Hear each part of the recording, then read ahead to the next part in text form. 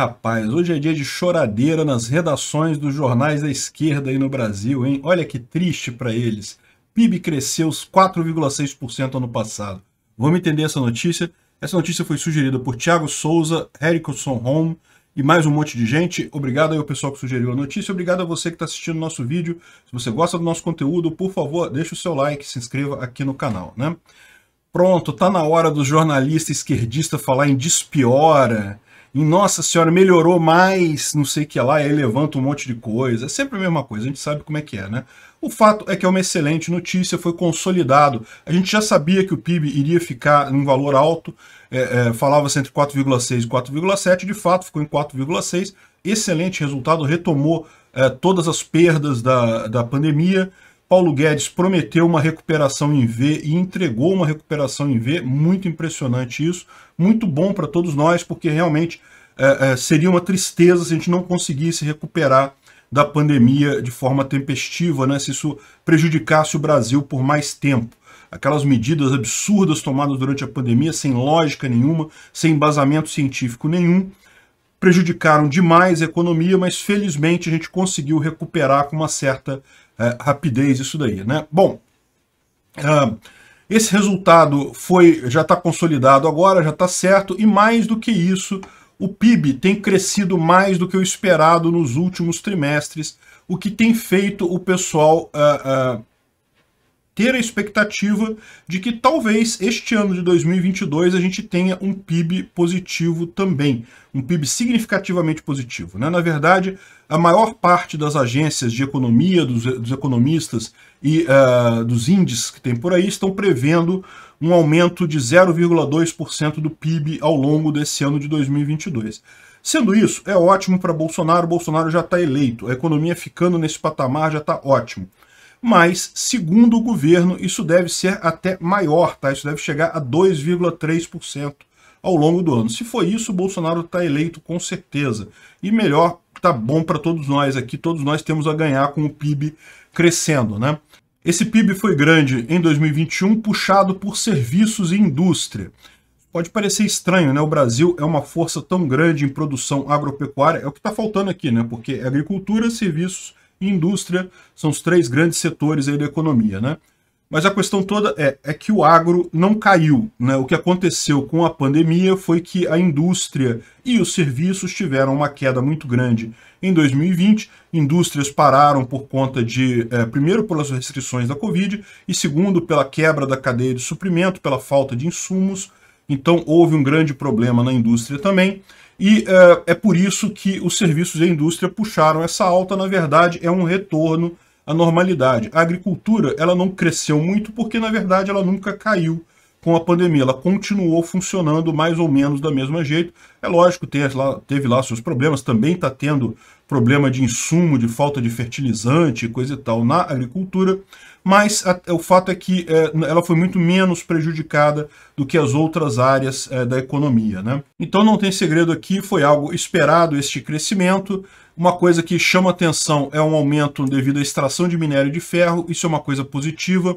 Como a gente sabe, o mundo todo está crescendo e a gente tem uma guerra na Rússia que tirou a Rússia, que é um grande produtor de insumos também, de, é, de ferro, minério de ferro, de um monte de coisa. Então isso deve, no final das contas, acabar ajudando o Brasil. Isso é uma coisa que tende a, a, a gerar uma, uma maior demanda para esses produtos brasileiros. Né? É lógico, a Rede Globo não poderia anunciar esse troço de forma positiva, não tem como, né?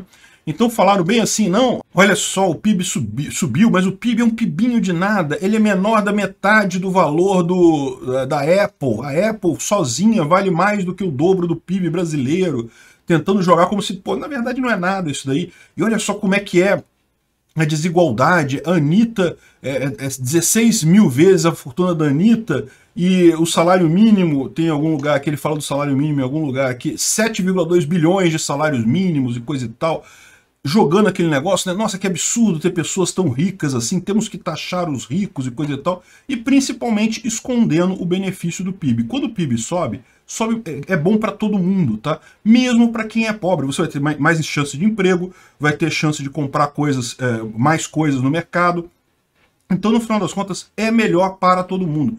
Não é ruim, não. Ah, e desigualdade é uma besteira, não, tem, não faz diferença nenhuma. É, realmente, a Apple vale dinheiro pra caramba. Por quê? Porque produz um produto legal que as pessoas gostam de comprar. Eu nem acho o Apple uma coisa tão foda assim, tão legal assim, mas as pessoas gostam, né? E vende, ninguém é obrigado a comprar Apple. E o cara ganha dinheiro, por quê? Porque ele fez um produto que o pessoal gosta, não tem nada de errado aqui. O Saverin, ele é do, do Facebook, ele era um dos fundadores do Facebook. De novo, ninguém é obrigado a usar o Facebook, um monte de gente usa o Facebook. Daí ele é recompensado por ter investido em algo que deu dinheiro. É perfeitamente justo o cara ter dinheiro, ninguém tem nada a ver com isso. Se o dinheiro não é roubado, veja, eu, eu reconheço, tem fortunas por aí que são roubadas. Por exemplo, a história do Eike Batista é muito estranha. É, é, o pai dele era ministro das Minas de Energia lá na época dos militares, e aí de repente o filho acha um monte de mina legal e começa a ficar rico com mineração e coisa e tal. Esse tipo de coisa parece roubado, parece que é uso de violência governamental para enriquecer. Isso eu acho perfeitamente condenável, tem que condenar mesmo. Agora, se o cara faz um produto, se o cara presta um serviço, as pessoas querem comprar aquele serviço e com isso o cara ganha dinheiro, amigo, é mais do que justo. O cara não usou violência com ninguém, deixa ele ser premiado por ter tido a boa ideia, né? Enfim, o Globo claramente quis trazer aqui uma visão de não que desigualdade, que o PIB não é essas coisas todas também, não sei o que lá. É uma coisa preocupante. Esse pessoal não, não aguenta, cara, ele não aguenta. Mas estão perdidos, não vão conseguir muita coisa, não. Com o PIB crescendo, como eles estão vendo aqui, eles estão é, aquela parte que eu falei já antes, que a expectativa deles é de um crescimento de 2,1%, na verdade. É, é, o mercado e instituições financeiras estimam em 0,3% a variação do PIB para 2002 e o SPE trabalha com 2,1%. Segundo o Paulo Guedes, é, é, vamos ver ao longo do ano o pessoal reajustando as expectativas dele de aumento do PIB. Tomara que sim, tomara que, que isso aconteça, principalmente porque, porque é bom para o Brasil e é bom para Bolsonaro também, tá? Ele vai, se tiver economia bem, meu amigo, ele ganha a eleição, com certeza. Obrigado por assistir o vídeo até o final. Além de curtir, compartilhar e se inscrever no canal, considere se tornar patrocinador com valores a partir de R$ 1,99. Clique no botão Seja Membro abaixo para saber as condições e vantagens de patrocinar o canal.